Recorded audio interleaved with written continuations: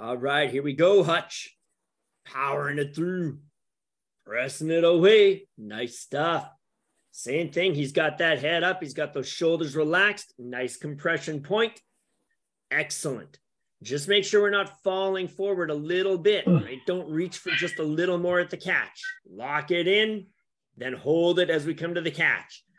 For everybody, by holding that body angle up through the recovery and at the catch, not reaching for more, we're not reaching and putting momentum against the momentum of the boat. We're going to just lock it in. We're going to be able to pick that boat up very quickly.